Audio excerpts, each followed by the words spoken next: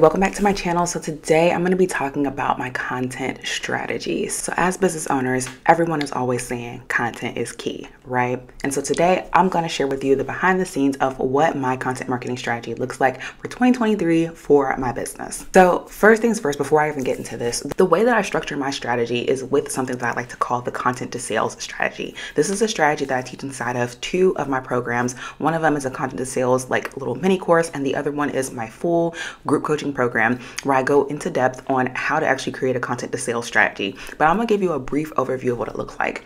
So, what I do is we focus on what is your searchable long form platform. Then we add in your distribution platform. This usually looks like social media channels. And then lastly, we add on email. So, for most business owners, I usually recommend that you have three different marketing platforms that you are focused on at any given time to grow, get your business, you know, some awareness, market, sell, all those things. I usually say focus on three different platforms. And I know this is kind of contrary to a lot of opinions and a lot of advice where people say focus on one platform, double down on this one area, get really good at this. My thing is, you won't know what you're actually good at until you try different things. And so this is why I usually tell people to tackle three different platforms at the same time, but we do it with a lot of intention. And so when you're inside those different programs, you'll be able to see like exactly like the nuances. But long story short, I am team repurposing all day. I don't want you spending hours and hours hours trying to create content for every single platform. And this is why the content to sales strategy is such a rich and robust strategy for you to learn how to do and implement for your specific business. So today I'm gonna kind of walk you through what my content strategy looks like for this year. Now, before we get started and before I tell you mine, I just want you to know that I am team omni-channel marketing. And basically omni-channel marketing means a organization's presence across multiple channels. The key to this is that we want to make sure that people are having a consistent experience with us across all the platforms that we're on. And so the reason why you'll see in a second why I'm on so many platforms and the way that I'm able to do that is because I'm keeping the content relatively consistent across all the platforms. So I like to think of it in terms of I use social media to distribute my message. I'm not using social media as a place to create overly original content where I don't share anywhere else, right? So social media is not my base, my pillar content. So let me tie it all together for you. So my primary platform and a long form content platform, I actually have two this year. It's my podcast and YouTube. The thing is, is that the way that I'm approaching both of these platforms is actually different. So technically each week I have two pieces of long form original content that's going out. So on the podcast, I focus a lot on marketing, sales, mindset, business strategy, like the actual strategy, tactics, and productivity. Versus on my YouTube channel, I'm showing more of the behind the scenes. I'm giving you a sneak peek into my life, both as a mom and a business owner. On the YouTube channel, there's a lot of productivity, general business advice, a lot of motherhood and showing like the behind the scenes of my life as a mom, and then of course my faith. So the major difference between these two pillar platforms is that the podcast is my number one top of funnel lead generator, right? I am trying to build awareness with my podcast. I am building a bit of community, but on podcasts, people can't talk back. So with the podcast, my main goal is to actually build that awareness for my brand and to get people actually to hear about my message. And so because what I do and my offers are surrounding marketing, sales, business, you know, productivity, things like that, I'm I'm sticking to with my podcast, keeping it very, very specific to what my offers actually are. Because on my podcast, that is also where I sell. So I educate people, I serve people, and then I sell to them. Versus on YouTube, YouTube, I'm showing people more the behind the scenes. And I'm really leveraging YouTube as a way to be a creator. I love creating. As you see, I love creating content. I create a ton of content. And so YouTube just allows me that flexibility to be able to really share that behind the scenes part of my life that a lot of people don't get to see when I'm just talking to, you know, my mic on a podcast. I also really love YouTube because it just opens up the door to a lot more opportunities when it comes to being able to repurpose content. So previously when I just had the podcast, I wasn't able to really repurpose it because it was audio only. Now, of course, you can still repurpose audio. Not saying that you can't do that, but I find it a lot easier when I have like YouTube videos where I can take clips and then repurpose it into other areas. And so that's another reason why I really wanted to implement YouTube as a primary platform for this year. So this year I have two primary platforms. It's going to be the YouTube channel and the podcast. Both of these platforms, the goal is for people to become more aware of my brand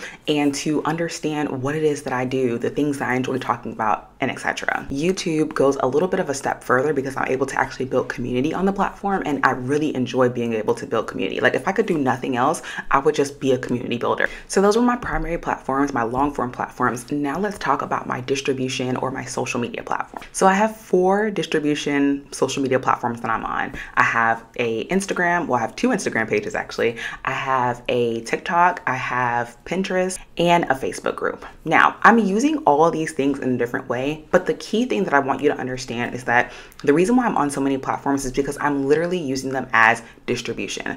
I am using these platforms to share and reshare, repurpose the message and the content that I'm putting on my podcast and on the YouTube channel. Now, obviously, there's going to be some original content, right? Sometimes I'm going to create reels that are very specific for Instagram, or I'll create Pinterest pins that are just really specific to, you know, what Pinterest is looking for. But for the most part, I'm really using all of these channels as a way to distribute my core and main messages that I'm putting out on my podcast and on YouTube. So when it comes to Instagram, I have two Instagram pages, and these Instagram pages directly reflect my podcast and my YouTube channel. So there's two different pages that do kind of two different things. They, they overlap a lot, but they do two separate things. So first I have my Mrs. Kay Hillman Instagram page. This is my personal brand page. This is my, I call it my main page.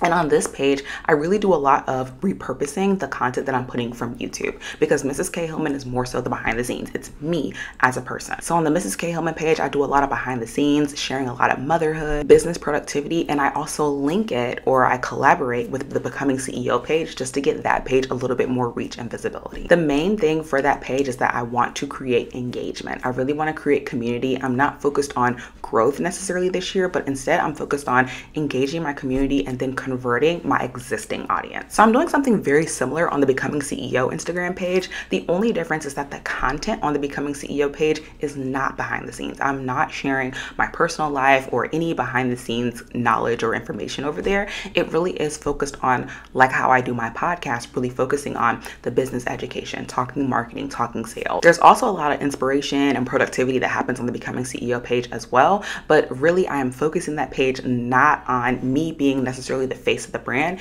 and more so just articulating the fact that, hey, I know what I'm talking about. You know, this is how I can support you. This is how I can serve you. Here are strategies and tips and tactics and things that you may need to know. That's what I'm doing over there versus on Mrs. Kay Hillman, where I am really showing up as, hey, this is the face behind the brand. This is the CEO behind the brand, that kind of thing. With both of these accounts, I really am focused this year on engagement, community, and really just like converting my existing audience. I used to be this person that I would really focus on like, oh, I need to grow, I need more people, I need more followers. But I've come to realize in the last few years that it's not about getting more followers, but it's about converting the followers that you do get. Because everybody that follows you, they're following you for a specific reason. And once I started realizing that, I was able to shift my thinking from, oh man, I have to grow, or I'm not growing, to, hmm, am I really engaging my community? And I realized in the last couple of years, especially because obviously I've had two kids, I've just gotten, you know, in the weeds of life, I realized that I wasn't engaging my community as much as I thought. I was really using them just to distribute whatever I was putting out there, but not really using using it as an opportunity to distribute, but also build and foster community. And so that's something that I'm really getting back to this year is focusing on community. And I feel like that's the overall theme behind my content strategy this year is to build community, build engagement, and then convert, right? I want to convert my existing audience because people have already bought into me, my message, my personality, the the content I'm putting out, right? So I need to do a better job at actually building community, having conversations, doing those kind of things with these people before I try to grow and pull in new people, right? These people are still interested, they're still engaging in my content. Why? Because they know, they like, they trust me. And so I want to be a good steward of that this year by really spending some more time engaging, creating content that they want to see, and then building those conversations up so that we can get to the point where I can actually serve them in a more paid capacity. So the next platform I have is TikTok. Now, TikTok is something that I have been going back and forth about what exactly am I doing on TikTok. But this month in January, I decided to actually sit down and say, you know what? I'm just going to repurpose content from Instagram over here to TikTok. Now, everything doesn't work. I'm going to say that. Everything does not work being repurposed, but a lot of things do. And truthfully speaking, on TikTok this year, I'm using it as a platform, but the main thing I'm doing is just researching. I'm just learning the platform. I'm not going to try to do a long drawn out strategy over here. I just want to be able to have another place to distribute my content. And so one thing that I've noticed is that repurposing a lot of my content from Instagram actually has been really effective in connecting me with people that are like me, right? Or people that are my ideal client. And then they come over to Instagram and they connect with me there, or they come over to YouTube and connect with me here, right? So I'm not really using TikTok maybe in a official capacity, but I am using it as a place to repurpose my content because the truth of the matter is is that you can never have too many eyes on your content, right? And so because of that, I'm gonna put it over there and see what it does. If it does well, great. If it doesn't, that's fine too. And right now I'm just I'm collecting data. I'm figuring out what kind of content that I create is doing well on the platform. I'm not really looking at what trends are happening or anything because honestly, I don't even understand the ecosystem of TikTok. I'm not even trying to understand it right now. So I'm really just figuring out, okay, me being myself, me being the content creator, the CEO, the business owner that I am, what are people going to resonate with when it comes to me? And so I've been just really using TikTok as a way to learn a new platform that previously I've been kind of intimidated to get on because there is a lot happening over there. So I'm using it simply to repurpose it. You know, I can't say whether or not it's working right now, but I am seeing more, you know, engagement, more views, and I am seeing people come from TikTok and follow me on my other platforms where I am actively building community. So my next distribution platform is Pinterest. And I feel like people have stopped talking a lot about Pinterest. I, I mean, I hear Pinterest a little bit like in whispers, but I don't feel like people are really giving Pinterest its just due, okay? Because Pinterest is bay when it comes to driving traffic. And so Pinterest for me is another distribution channel. And I call it a social platform, even though sometimes people think it's social, sometimes they don't. But I'm gonna call it a social platform. And on Pinterest, I'm simply using it to drive traffic. I wanted to drive traffic to my blog, I wanted to drive traffic to YouTube, and I wanted to drive traffic to the podcast. And so with YouTube, I'm able to post videos to Pinterest and let that drive traffic back to my YouTube channel. With everything else, I just create simple Pinterest pins and I put them up, and that drives traffic to the blog and um, my podcast. My last social platform is my Facebook group. Now, I'm not gonna lie, I've been having a love hate relationship with this Facebook group. I started this Facebook group when I first started my business back in like 2018 or 2019, and it was rocking steady for a long time until I had babies. Once I became pregnant, the Facebook group became an afterthought. I just was having a hard time keeping up. And I have a really engaged community. Well, I used to have a really engaged community. I have over a thousand members in there. It's been amazing. And because this year I really want to focus more on building community, I'm actually trying to figure out how to re engage the Facebook community. Now, with that being said, the content strategy behind using that platform is a little testy, right? We're testing that Facebook strategy, the Facebook group strategy, just like I'm testing out TikTok.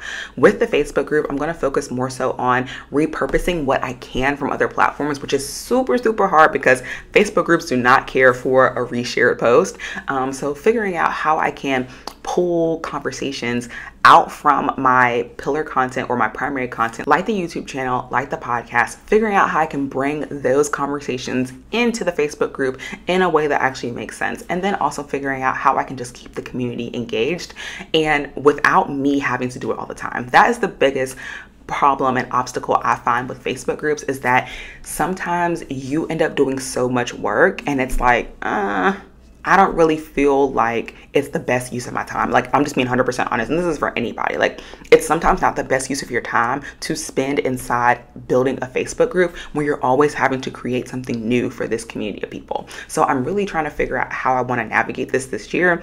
For the month of January, it did not go too well. I didn't post at all like I wanted to, but in February, I am going to go back and try to create some community posts just to see if we can get some engagement some conversations going on in there. Something else that i think that will work this year for facebook groups and my facebook group in particular is whenever i do like free um, workshops or different training and different things like that really focusing on hosting those events inside the facebook group. I feel like doing that will at least create some engagement during that period of the free challenge of the you know experience whatever it is that we're doing. It'll create some engagement in there and then hopefully the moment momentum will, you know, continue to stay strong as long as I am popping in and out. So we're still fine tuning how the Facebook group strategy is going to look. I may drop it, just being honest. I may actually end up dropping it. But for right now, you know, I am excited about really trying to um, get back into the swing of the Facebook group because I will say that when it comes to building community, Facebook groups, hands down, have been the best way and the best place to build community.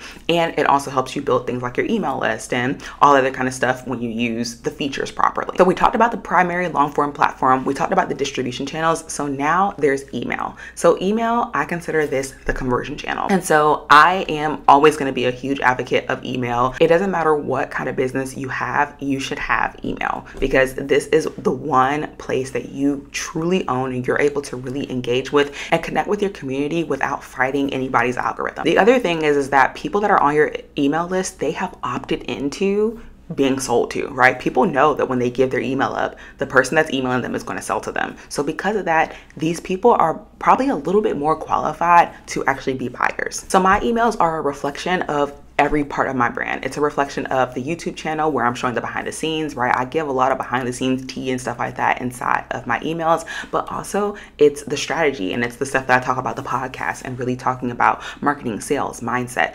productivity, things like that. So the last part of my content marketing strategy, which I separate this from the other, like my main strategy, because I'm not sure if I'm to do it or not, but I do want to actually start back blogging when I used to blog, I used to get a lot of traffic to things like my podcast, my YouTube channel, because people would maybe Google something, find the blog, and the blog will redirect them to either my YouTube or my podcast. The reason why I'm back and forth about whether or not I'm going to do this is simply because of time, right? I don't have all the time in the world, and I'm already creating so much content in those other areas that I'm just not sure how and when I'm going to get around to the blog. So, what I'm thinking with the blog actually is maybe every quarter or maybe after six months, I'll sit down and I'll pull all my old content. I'll make blog posts for it. I'll get all that stuff up and let it just automate by itself instead of trying to week by week focus on the blog. I feel like that will help me not spend too much time on you know, trying to blog or trying to make time for it and really allow me to focus on my pillar, my main primary platforms,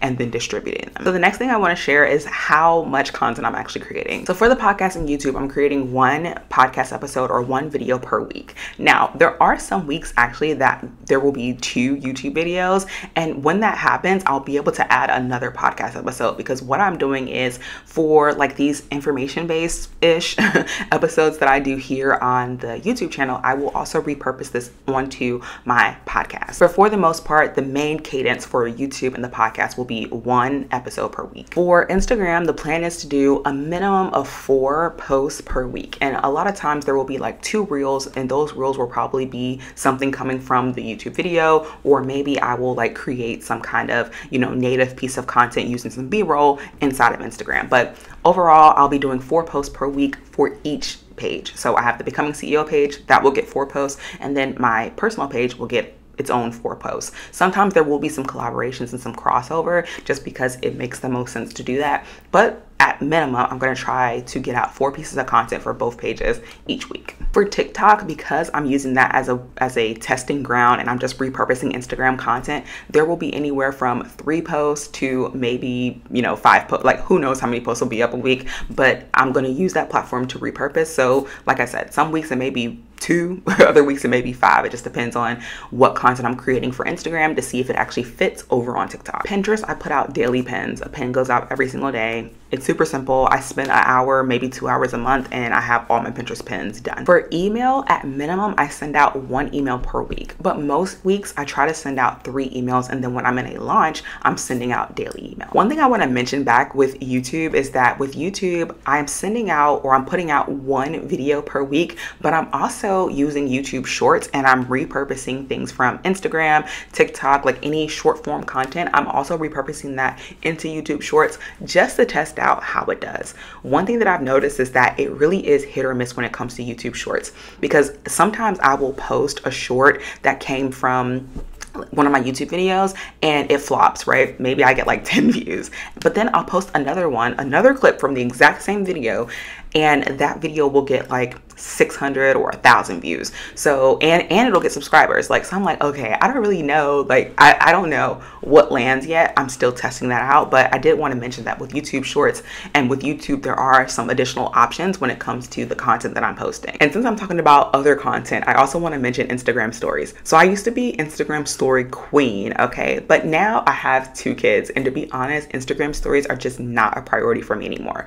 Although i do know because my goal, again, with Instagram specifically, is to build engagement, to build community, I do know that stories are important for that because that's how my audience talks back to me. So, one thing that I try to do is whenever I post, which will be four to five times a week, I try to make sure that I put some stories up. And a lot of times it's going to be about whatever I posted. So if I post a reel, I'll share the reel to my stories, or before I share the reel to my stories, I'll like, you know, say good morning and I'll put like a little, you know, sticker up or something. And then I'll share the reel that I posted for the day. And then after that, I may share like a little bit more context, a little bit more behind the scenes behind what the post was about. And that really helps me kind of create some kind of stories because right now your girl is just not in the headspace especially with, with having the kids and them being all over the place and sometimes i do want them in the recording and sometimes i don't and it just it's just a whole situation. So Instagram stories, it's not that they get the less of me, but Instagram stories is just not a priority for me in this season. I'm still trying to figure out what I want my stories to look like. I do sometimes like schedule or like pre-make story slides so that I can have something to post,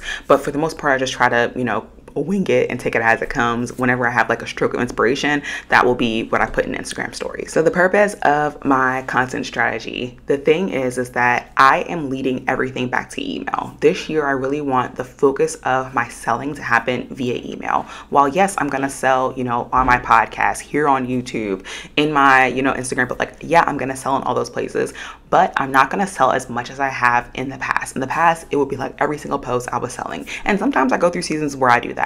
But this year, I really wanna focus the bulk of my sales inside my email because I wanna use my main facing platforms as a way to build community and engagement. That is the focus. So that's pretty much how my content strategy looks like for 2023. I'm super excited about just how I'm going to be able to keep up with this. I really am like a content and productivity queen. Like I love creating content. It is just it's one of my favorite things to do when it comes to my business. And so because of that, I really want to spend more time this year creating content and because I really do love the omni-channel marketing approach because I love being in all the different platforms and this is not for everyone. I want to say. Everybody is not going to be able to jump out the gate and be on all the platforms. I do have systems in place that make it easier. I you know i have a actual structure and strategy behind why i'm doing it. So um, i'm not saying that everybody should do this but this is what my strategy looks like for this year and maybe you can pull some things from it that will help you figure out what your strategy is. And if you have any questions or just are trying to figure out what your content strategy needs to look like, you can always join my content to sales program. It's a mini course. I think it takes like maybe two or three hours to map out your entire strategy there. Or you can join me in, inside Becoming CEO. And inside there, I really break down how to create your content strategy. And then I work with you along the way as you are executing that strategy. So that's what's happening over there. And, and that is it for this episode. So until next time, I will talk to you later, darling. Okay.